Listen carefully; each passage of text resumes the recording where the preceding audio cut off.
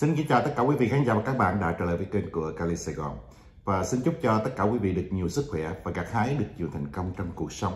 Nếu thấy thông tin này hữu ích thì cho mình cái like, một lượt đăng ký kênh. Thành thật cảm ơn tất cả quý vị thật nhiều. Vâng, à, kính thưa quý vị, đối với những anh em YouTuber tham gia vào cái drama này và khán giả đã dõi theo cái drama này cũng hơn một năm nay thì chúng ta nghiệm ra rằng à, nó có những cái mà chúng ta không ngờ được phải không các bạn ha à, đối với tôi thì à, tôi thấy có bốn cái à, vị mặn của xã hội vị đắng của tình thân vị chua của đồng tiền và vị tanh của lòng người. Nó làm cho chúng ta um, học hỏi thêm nhiều được nữa những cái mà chuyển biến ở trong xã hội này. Chúng ta cũng không thể nào mà tin tưởng được một người hoàn toàn khi mà chúng ta đặt lòng tin ở người đó.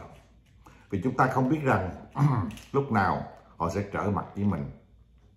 Đó là vị đắng của cái tình thân không quý vị ha? Nhiều khi uh, mình coi họ là bằng hữu là cùng chuyến tiến với nhau nhưng một ngày nào đó họ sẽ quay mặt với mình đó là tam sơn ngũ động ừ. gần đây nhất có một hai người nữa lại uh, quay lưng với những gì mà gọi họ gọi là thương yêu với những gì cái mục đích chính mà họ đến. Thôi thì uh, còn bao nhiêu người nó quay xe cứ quay xe đi. Để chúng ta nhận diện ra hết. Và chúng ta cùng với nhau chia ra thành một chiến tuyến nó rõ ràng, nó mạch lạc với nhau. Không quý vị ha. Ai quay xe nữa? Quay xe đi, ra mặt. Để chúng ta cùng với nhau ngồi trên một bàn và đối diện với nhau bằng những lời phản biện. Chứ à, không còn mà núp lùm. Rồi à, che đậy những cái thật, những cái giả.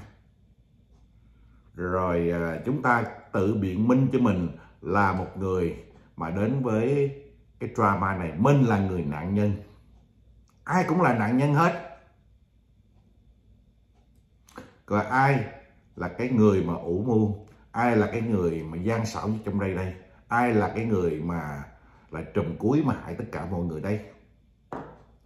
Tôi nghĩ rằng à, một số à, người khán giả và à, vài ba youtuber đã quên cái mục đích chính chúng ta đến đây, đến cái drama này ngay từ lúc ban đầu là gì mà quý vị lại bây giờ cấu kết với nhau hãm hại con gái của cố nghệ sĩ ưu tú Vũ Linh. Đó là một điều thất lực thất đức. Mà các bạn không giữ chữ tính với lại uh, khán giả ngay từ lúc ban đầu với những lời nói của mình là bất tính rồi phải không? Còn mà bây giờ mà hại luôn cả cái công ăn việc làm của người ta. À, bem những cái uh, sản phẩm của Hồng Loan đang bán cho khách hàng.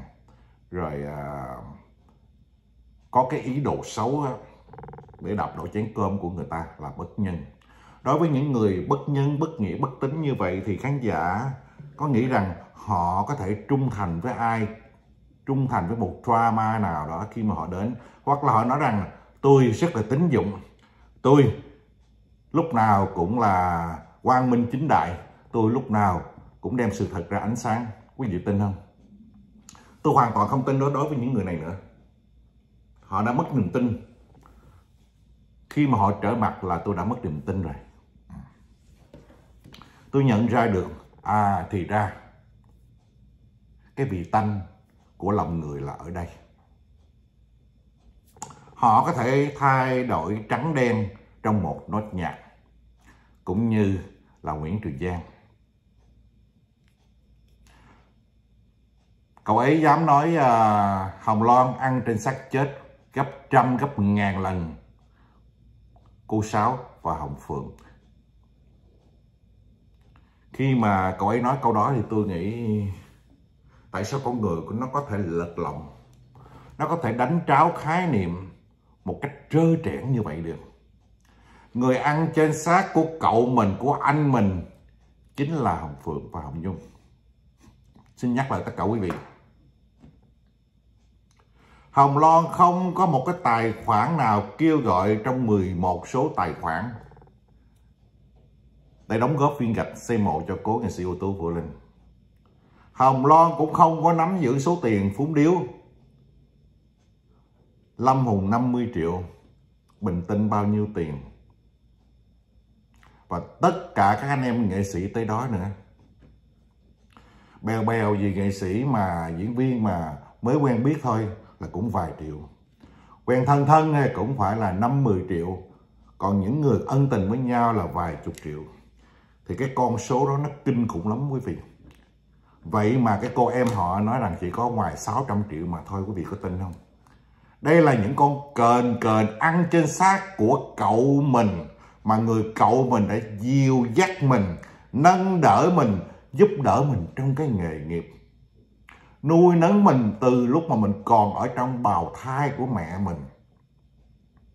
Người cha có trách nhiệm không khi đối với mẹ mình lúc mà mình, mẹ mình mang thai? vô trách nhiệm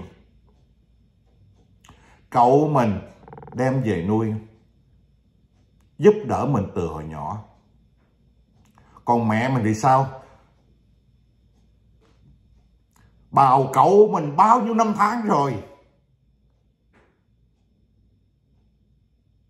năm căn nhà, một ngàn lưỡng vàng. Có người anh nào mà giúp đỡ người em như thế chưa? Cô nghệ sĩ đã đem hết tất cả cái lòng thương yêu của một người anh để trả nợ cho một người em. Hết lỗi lầm này tới lỗi lầm khác, hết lỗi lầm khác tới lỗi lầm kia, hết lỗi lầm kia tới cái lỗi lầm nọ nọ. Như vậy mà các người không nhìn thấy nữa hay sao vậy? Mà các người còn dám nói rằng con cố người sĩ ăn xin xác chết. Có nắm được một đồng bạc nào trong cái phúng điếu đâu. Còn tiền quyên góp, biết bao nhiêu tiền ở hải ngoại gửi về, Hồng Loan có lấy thấy được một cắt bạc nào đâu. Mà dám nở lòng nào nói rằng Hồng Loan ăn trên xác chết. Đó là cha của người ta. Cha của người ta đó nha. Thí dụ Nguyễn Trường Giang đi, tôi nói một câu này, nó có vẻ hơi nặng chút xíu. Cha của bạn mới chết đi bạn làm phúng điếu bạn phúng điếu nhận phúng điếu từ các mọi nơi. Nhận quyên góp từ mạnh thường quân. Nhiều khi lúc trước có giao hảo với nhau. Bây giờ mọi người nhìn vào và người ta nói rằng Nguyễn Trường Giang ăn trên xác chết của cha nó. Thì bạn nghĩ như thế nào? Có đúng không? Tại sao bạn lại áp đặt lên cái câu đó cho lên cho hồng loan phải nhìn ra được câu chuyện, mình đừng có bao giờ nên bị đặt thông tin. Đừng có bao giờ lấy đen thành trắng. Khán giả ngán ngẩm lắm rồi.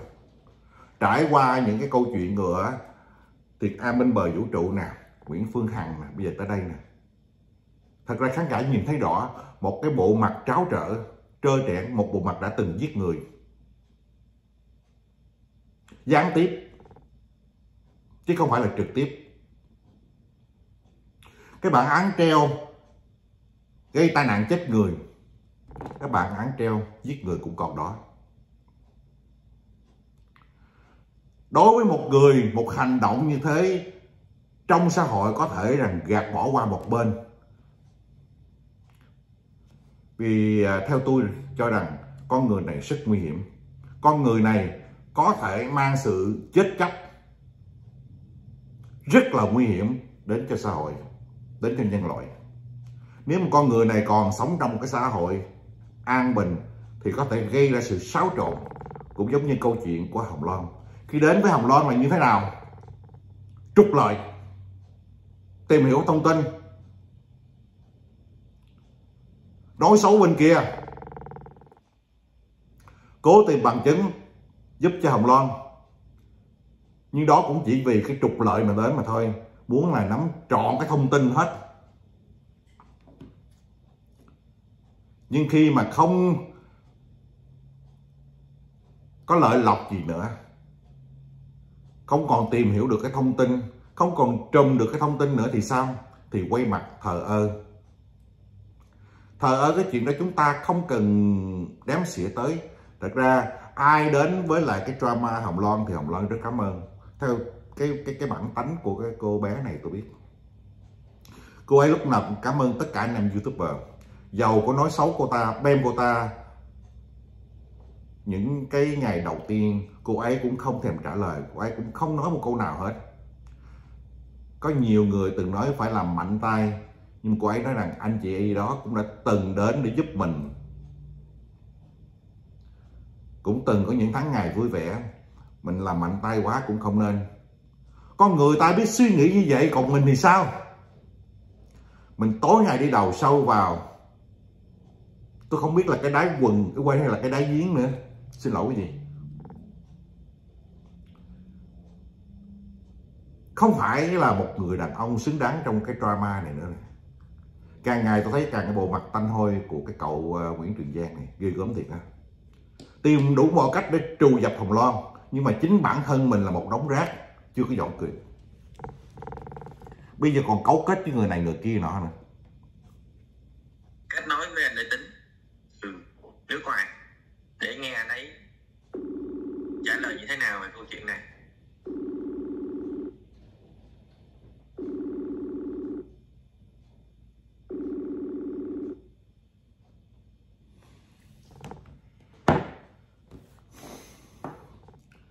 ngán ngẩm nghề thiệt phải không quý vị ha? Cái này à, là cái à, vị mặn của xã hội nè, và vị tanh của lòng người, cũng như vị chua của cái đồng tiền. Vì đồng tiền, họ có thể làm tất cả mọi thứ, giàu cho bán luôn cả cái danh dự. Và những cái gì một chút xíu còn lại của nhân phẩm của họ họ cũng bán luôn.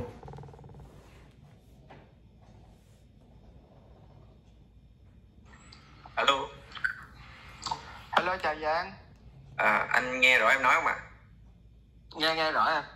Dạ à, em là em đang kết nối với anh từ à, livestream kênh thám từ cao. Hey. đúng là lòng tanh. Cái xã hội này cái gì nó cũng có thể xảy ra được các bạn ha. Bởi vì không trách hồng ni và hồng loan phải đề cao cảnh giác và chuẩn bị một cái tinh thần thép để đối phó với tất cả những người xung quanh của mình.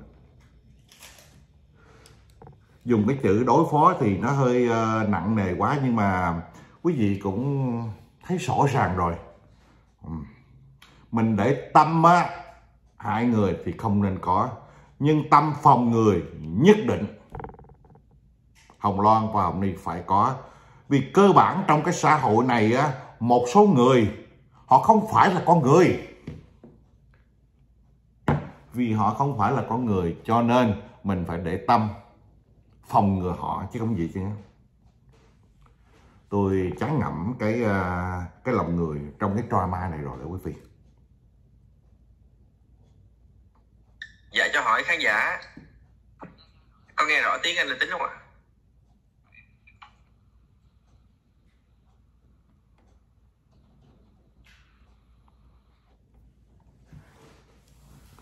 Thật ra tôi cũng không cần nhất thiết phải nghe nha. Những gì họ mà trao đổi với nhau trong cái clip này thứ nhất là tôi không muốn cho họ có được tăng cái view và được người xem nhiều cho nên chỉ mình chỉ uh, nghe sơ sơ vậy là được rồi. Là có họ có nghĩa là mình biết rằng họ có cấu kết với nhau. Cũng giống như là cái tên này là cái tên bại hoại trong xã hội nhất. Cái tên bà tư lùng này các bạn. À, rất là lật mặt luôn. Ừ. như là bánh tráng. Lúc trước á thì đi với ông Tùng Vân rồi sau đó phản ông Lưu Tùng Vân. À, rồi lúc đầu tiên á à, ủng hộ cho Hồng Loan. Nói xấu à, cô Sáu. Rồi bây giờ đi cửa sau với cô Sáu đem Hồng Loan. Những con người phản phúc như thế này á họ sống um, nếu mà sống ở trong xã hội này thì quý vị nói rằng không vì tiền, không vì lợi lộc thì tôi không tin. Đối với tôi, nghe là bản thân riêng tôi, những con người phản phúc không bao giờ được bước chân vô tới cái nhà của tôi. Nhìn cái mặt phản phúc là mình biết rồi. Những con người này chỉ làm hại cho xã hội. Họ đến với ai một thời gian là họ phản người đó, đến với ai một thời gian là phản người đó nhìn trên cái mặt của của, của Nguyễn Trường Giang là biết phản phúc rồi. Cho nên à, quý vị hãy cẩn thận những lời nói. Đừng có để cái tên này lùa gà. Hắn coi khán giả của hắn giống như là một đàn gì đó. Hắn lùa như là lùa bò vậy. Hắn có nói câu chuyện nào sự thật đâu. Ai ăn trên xác chết?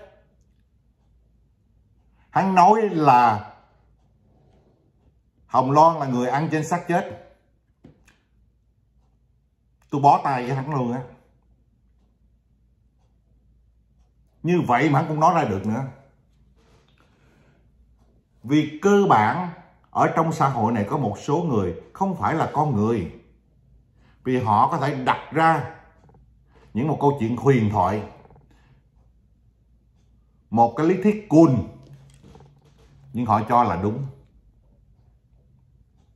vì sao? Vì ấm mức vì ganh tị vì sân si. Vì xin lấy cái uh, những cái uh, mặt hàng buôn bán ở bên Hồng Loan không được làm đại lý không được. Bán hàng thua người ta. Đưa những ý kiến tào lao người ta không nghe theo bem người ta. Vừa nói câu đó câu sau bem người ta liền. Những con người này không thể chấp nhận được. Cũng nhờ cái drama này đấy các bạn chúng ta mới biết được những con người mà phản phúc như thế nào. Rất là phản phúc. Phản phúc kêu bằng là trắng trợn một con người, phản nói rằng là không thể tưởng tượng được luôn á. Ai là nạn nhân trong cái drama của Hồng Loan này? Những youtuber không có ai là nạn nhân hết trơn á. Các bạn kiếm thật là nhiều tiền. Các bạn được người ta đăng ký rất là nhiều luôn. Kênh của các bạn càng nhiều các bạn là nạn nhân cái gì? Nạn nhân con khỉ. Ngồi đó kia mình là nạn nhân. Người nào hại các bạn? Tự đến tự kiếm tiền. Còn nhục mạ người ta mà nói rằng à, mình là nạn nhân cái con khỉ. Đúng là lòng người thiệt á. Không thể tưởng tượng cả nhà nha cũng rất lâu rồi anh em mình mới uh, nói chuyện đúng không anh em mình. Cũng uh, dạ. khán giả này cũng lâu cũng cũng mấy tháng rồi. Ừ. xưng nhau vậy là anh em rồi luôn rồi ơi mình chỉ uh, cho khán giả uh, nghe tạm nghe một chút xíu vậy thôi. Tại vì vào bên trong nữa nó có nhiều cái uh, quý vị phải uống thuốc tăng sông thuốc trợ tim quý vị mới nghe được. Những con người mà nói đâu không bao giờ giữ uy tín. Con người mà bất nhân bất nghĩa bất tín rồi á thì à, chúng ta cần gì nghe họ nữa không có gì ha? Nhiều khi chúng ta nghe một đoạn nào để chúng ta phản biện lại cho khán giả để cho dư luận hai chiều người ta biết mà thôi. Rồi bây giờ chúng ta vui vẻ lại với nhau lại nha các bạn ha. Bạn à, hớn tần hả? Kali làm một clip nói về thằng hề có tuổi mà không có tên đi. Trần Ngọc Dung, xã hội bây giờ loạn hết rồi anh ơi, không như trước nữa giờ. Chỉ biết hơn thua và tranh giành với nhau. Nga Quỳnh Anh Kali nói rất đúng luôn nếu được uh, Ni Hồng Loan cho thằng cha tào lao đó vài lá đơn để cho công an sờ gái thằng cha mới uh, biết được thế nào là lợi hại cái thằng cha đó đáng sách dép cho Ni nữa chứ đừng nói là xạo xạo chê bai người ta. À, ý bạn nói là đạo diễn Sa Ben hay là ấy hay là cái tên Phản Phúc. Tới tôi nghĩ là đạo diễn Sa Ben ha. Phương Mai Thị Kim chủ kênh này phản biện rất có tâm. À, có đạo đức trước sau nhưng một lúc nào cũng có tiếng nói trung thực bảo vệ. Cái đúng không như cái ông đạo diễn và ông hài hai mặt, chúc anh và cùng gia đình luôn mạnh khỏe, hạnh phúc, bình an, may mắn trong cuộc sống. Cảm ơn à, Phương Mai rất nhiều. Mình à, cũng à, mới nghe Mã Tư Lùng mà gọi cho Lê Tính để nói chuyện với các bạn, nhưng mình không nghe câu chuyện đó đâu.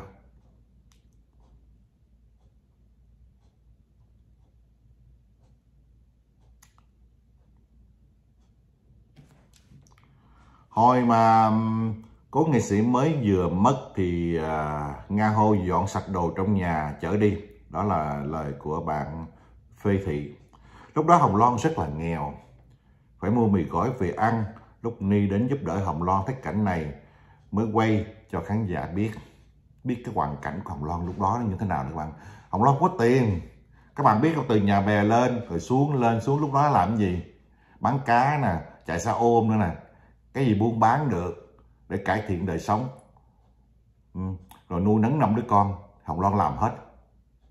Một, cô công chúa của ông Hoàng cải lương sân khấu mà phải trải nghiệm một cuộc sống như vậy.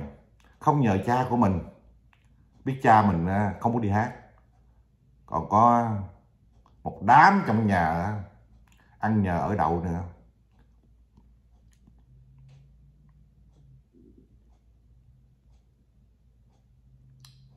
Bây giờ Hồng Loan buôn bán có tiền rồi đủ sức mua gạo thịt để ăn. Ông Long giờ này kinh tế chắc gì bằng kinh tế của Hồng Loan. Um, cho nên họ mới sân si Hồng Loan á. Có nghĩa là thấy người ta giàu đó qua có nhiều người lạ lắm thấy người ta giàu á. À, thì lại sân si ganh tị còn thấy người ta nghèo á thì lại khinh đạp người ta trước mặt vậy cái ngày mà đầu tiên ở những tháng ngày đầu tiên mà cũng này lùm xùm trong gia đình đó các bạn thì à, các bạn nghĩ coi. Cố nghệ sĩ đã trả nợ cho mới báo bằng một cái biệt thự bằng một cái biệt thự ở thủ đức. Nhiều khi có nghệ sĩ tâm sự cùng với lại các nghệ sĩ khác. Ông ấy nói rằng bốn đêm không ngủ được luôn. Khóc. Quý vị tưởng tượng coi một người bốn đêm không ngủ, vì nó là một cái cơn sốc rất là nặng. Phải không? Quý vị nghĩ coi, quý vị làm lụng để bao nhiêu? Bây giờ tôi cho Việt Nam là lương công nhân tôi cho 10 triệu luôn đi. Còn lương mà văn phòng ngon ngon ha 30 triệu. Ừ. Quý vị làm bao lâu mới mua được một căn nhà nhỏ nhỏ? Hai ba tỷ căn hộ á. Chứ đừng nói chi là một biệt thự. Mà ông bảy báo này á, làm cho anh mình á phải bán luôn cả một cái biệt thự để trả nợ cho ổng thế mà anh mình vừa ngã xuống ổng đành đoạn gỡ cái máy lạnh trong phòng của anh mình đem về. Quý vị thấy những con người này nó giả tâm như thế nào không? Ác như thế nào không? Cái máy lạnh thôi mà ông cũng gỡ đem về. Cái máy lạnh nó bằng một cái biệt thự anh mình đã trả nợ cho mình hay sao vậy? Những con người này không có lương tâm các bạn ơi. Dám từ cả con gái của mình trong khi đó, nó bụng mang dạ chữa sắp tới ngày sanh, mà lên trên mạng, nói những cái câu bất nhân bất nghĩa. Gặp một đứa con gái khác mà nó mặc cảm, tinh thần nó yếu, là có thể ảnh hưởng tới bầu thai. Đó là cháu ngoại của mình đó con người này đã mất nhân tính rồi. Quý vị thấy không? Nó mất nhân tính rồi, nó mới làm như vậy. Những con người mà có nhân tính, họ không bao giờ ăn trên xác của anh mình, của cậu của mình như thế. Và những youtuber, những người quay xe đó, họ đã quên mục đích họ. Đầu tiên tới đây là làm gì? Ủng hộ và bảo vệ cô con gái này, hiểu chưa? Nhưng mà họ cũng vẫn có được tiền tiền từ youtube rất là nhiều luôn. Dung Mai, tại sao an ninh mạng không tẩy trắng? Những kẻ sống bằng mạng xã hội mà lật mặt hơn là bánh trắng an ninh mạng không rờ sờ ra gái rồi đúng hơn các bạn. Bạn nên nó sờ ra à, phải có đạo đức nhân cách biết cho cha mẹ nó đã sinh ra những loại người không ra gì giống như là thú tính. ủng hộ những phát ngôn của nhà mạng Cali Sài Gòn. Cảm ơn bạn rất nhiều.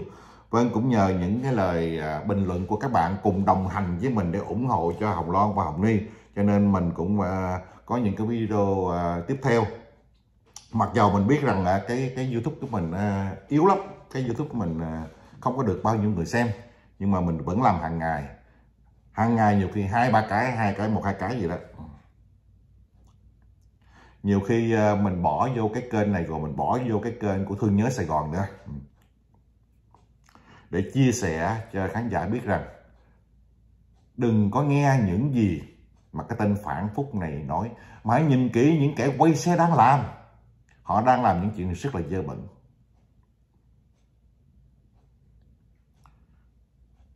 Nguyễn Kim Anh. Tôi theo dõi thời drama ông Lê Tùng Vân cô Phương Hằng mà chưa bao giờ nghe cái tên rảnh con TTC này. Vì vừa nghe tầm 2-3 phút là biết tên này không thiện lành. Giọng nghe ám ảnh hết biết chú Cali Sài Gòn ơi. Dạy dỗ tên này giống như là đần khải tay trâu. Nước xối vô đầu dịch. Con chúc chú nhiều sức khỏe. À, và cảm ơn à, cháu Kim Anh nha. Ừ.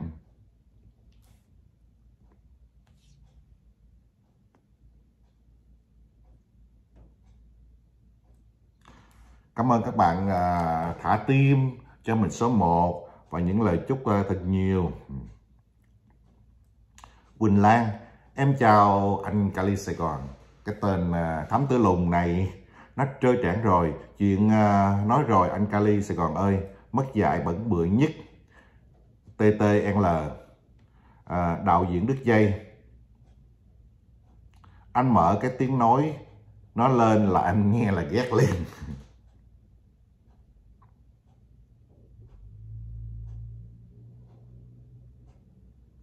Kiệt Châu. Mọi người hãy xem kỹ cái clip của luật sư Vlog ngày 5 tháng 10 năm 2023.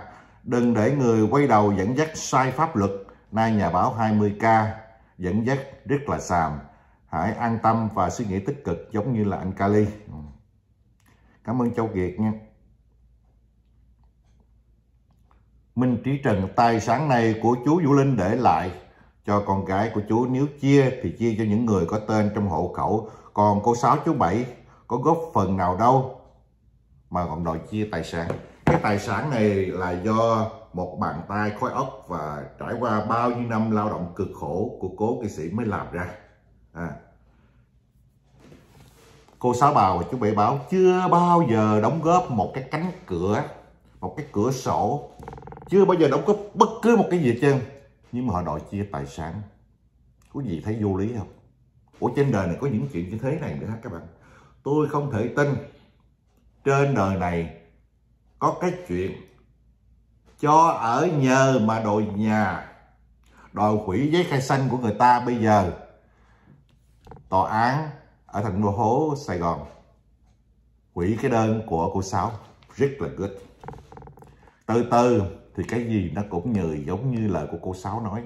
Khi mà Hồng Loan đã đích thân tòa nè. Nói rằng là con của cố nghệ sĩ, là giọt máu của ông ấy, thì từ từ sẽ tính đến chuyện sao kê và những cái chuyện khác nữa phải không quý vị ha? Ừ.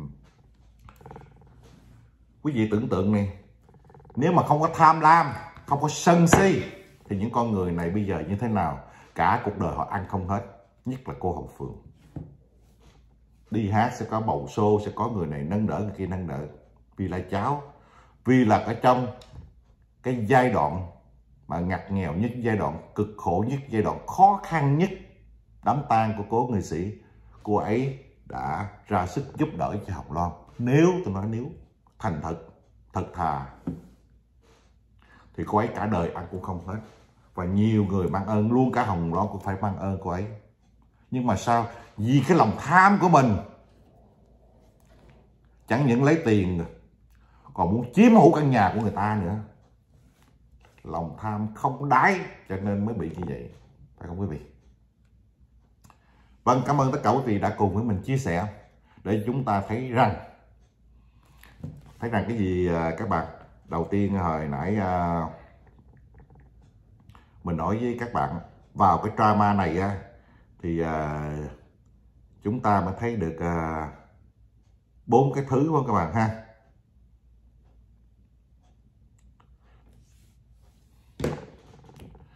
Vì mặn của xã hội, vì đắng của tình thân, vì chua của đồng tiền.